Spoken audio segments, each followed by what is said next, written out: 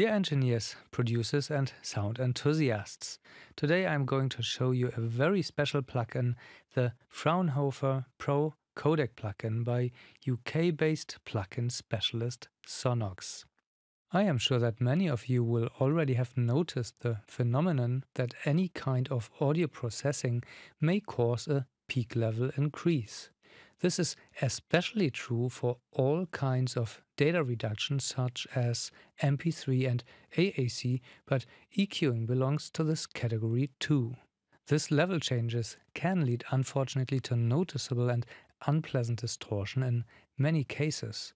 Particularly, data compression is known to lead to a strong level increase under certain conditions. It is the aim of the Fraunhofer Pro codec to supply an intuitive tool to get this under control with ease. If you want to learn how to create first-class distortion-free MP3 and AAC files, and if you want to extend your service portfolio by a new point, you're right at the perfect spot here. Just watch on. First, I'm going one step backwards to theory, which is actually explained in more detail within my 3-hour R128 and BS1770 loudness normalization and metering video. This video is actually a must-have for everybody working with digital audio. But here are the basics.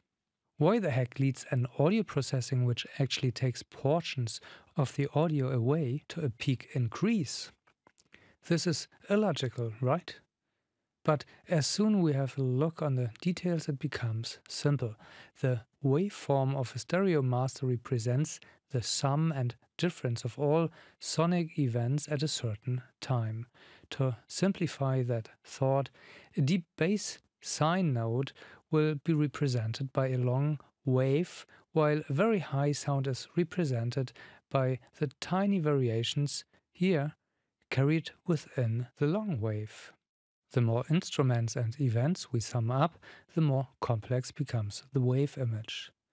If you now take something away, let's say sub-bass by applying a low-cut filter, the whole adding and subtraction process starts from scratch and therefore we will have a higher total at some spots and a lower total at other spots. But, and this is factual, the highest peaks raise while the average or RMS goes down if you have taken something away, like it is the case with low cutting or applying data compression. In the case of data compression, we have an interesting observation. The stronger the data compression, or in other words, the smaller the destination file size, the higher the level increase of the MP3 or AAC file.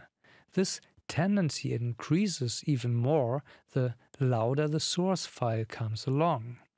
In other words, louder tracks are more critical than dynamic tracks. If we, for example, take a relatively dynamic jazz song, we have possibly a level increase of up to 1 dB, while a Metallica like hot sausage can cause a far higher level increase of a few dB depending on the chosen codec algorithm.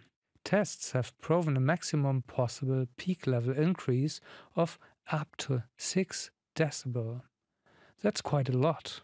Here I play a Pat Metheny song. It's from 1997. It is amazing how loud it is considered that we talk about jazz and the release was before 2000. Today I actually perceive the album as kind of hyper compressed and stressing, and a measurement with my TT dynamic range meter confirms DR7, which is indeed too compressed. However, the Sonnox plugin confirms promptly that we have to reduce the level by more than 1 dB. To give you another example, I now play a song from the Bad Boy album Death Magnetic, and the plugin suggests an even higher gain reduction as expected. That is no wonder with such a low dynamic range of DR3. Please understand that I can't let you listen to these tracks as this would harm legal copyrights. By the way, it is very impressive and clear to observe that the potential level increase gets bigger the more lossy the codec is if you just look on these values here. Here's another strong argument to take this so-called underread seriously. iTunes comes now up with a premium quality label called Mastered for iTunes. Again, Apple shows the stiff and helpless music industry the way back to quality matters instead of beating distorted, overcompressed music into the brains of the listeners, which seems to be no success model yet. Now let's have a look under the hood of the Fraunhofer plugin. The Fraunhofer Pro codec is a real time monitoring tool to compare uncompressed audio with different kinds of compressed formats with automatic level compensation, everything in real time. The plugin will be inserted usually at the last insert in the master bus right after dithering. The very special thing about the plugin is that we have for the very first time the possibility to make A-B comparisons between PCM and different compression algorithms in real time. In order to do so, we have a choice of different tools. Here in this area, you can see a simple tool which helps to make a real A-B comparison because you have this hide button here. Pressing this button hides the before made choice of the A and the B source so that you can do a blind test without subjective pre-emphasis. During the master seminars of the Mastering Academy, we love to make blind tests with our small groups of up to six students, which is a lot of fun and often pretty revealing. Anticipation on the result of the comparison can have a strong impact on what we think we hear. This is because we hear with our brain and not with our ears. To give you an example, if we compare the result of a 10,000 euro external analog EQ with a freeware EQ plugin, we expect the external gear to sound better and therefore we will perceive it actually sounding better as long we do not make a fair blind test. A further scientifically more advanced alternative to the A-B test is the ABX test. To activate this function we have to go to the options menu right here. Now you can see that this tab here changed the name from AB to ABX. ABX introduces a third unknown sample which is either A or B. You will run about 20 cycles where you judge whether X is A or B by pressing the referring button. After each vote, the order of the played examples will change randomly. At the end, you press the button Reveal and you can see if you were able to match X correctly in percent. Scientifically, it is accepted that you were unable to match X correctly if you have a result worse than 95% because randomly correct guesses can make the result imprecise anyway. In other words, if the result is lower than 95%, you don't need to worry about a loss of perceptual sound quality between A and B. If you are able to identify X with 100%, you can clearly hear a difference between A and B and can take action. Either change the algorithm for a better result if you can, or apply EQ changes to the original so that the result is compensated if you really need such a strong data reduction.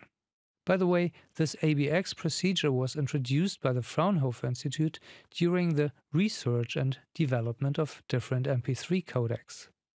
For those of you who think this is just scientific playground, I can show a few more substantial features of the Pro Codec plugin. On this TruePeak meter, the potential overs are revealed, which will occur through the encoding process, as we have seen at the beginning. This is a real gem. By now, it was required to encode into the destination format and then decode back to PCM in order to be able to measure the peak levels.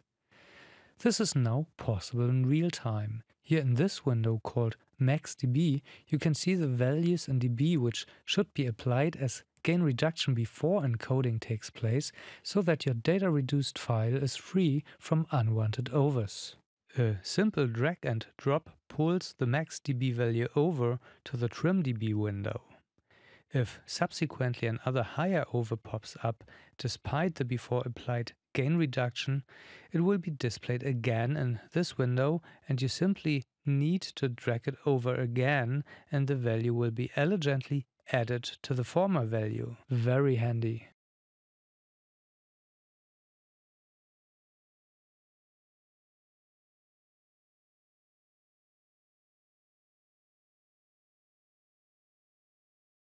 By the way, it is important to know that the plugin applies a discrete listening gain compensation in the background, which does not affect the rendered files, but serves as a very useful tool to be able to make instant comparisons between original and different codecs at the same listening level.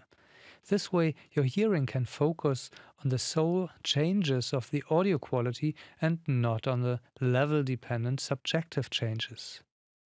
In this codec list area, you can choose and adjust up to five different codecs at the same time and compare the results with this monitor knob. With just a few drag and drops, you can apply conveniently the required gain correction. This is one of the commercial core values of the plugin for me. As a busy engineer, you want to save time when you create a level and sound optimized MP3 or AAC file for your customer. A further valuable commercial benefit is that you have a tool to find the best possible codec for a particular situation, and if required, you can apply EQ changes before encoding to compensate a loss of highs, for example. This could be the case if your customer needs a very small file size for mobile streaming purpose so that the codec degrades the sound quality on the frequency domain. In this case, you have a supporting green indication line in the FFT display, which warns you in case of the risk of potential changes, changes in the frequency domain of the currently chosen codec. The green line turns red when you run the risk that the codec applies audible changes in the frequency domain. Kind of fool safe and a new business opportunity too. Coming to an end, I will rush quickly over the most important buttons. Master In switches the plugin into the signal path. The button Codec Diff means difference toggles between the codec signal, which is currently chosen, with use of this monitor button here, and the difference between the original and the codec. Or, in other words, the amount of sound you will take away by applying the current codec. By the way, here you see the self explaining monitor section. It allows you to pick the codec you are going to hear. If you now hear the difference of a common 128 kilobit codec for the first time, you will be really shocked. Here is a sample.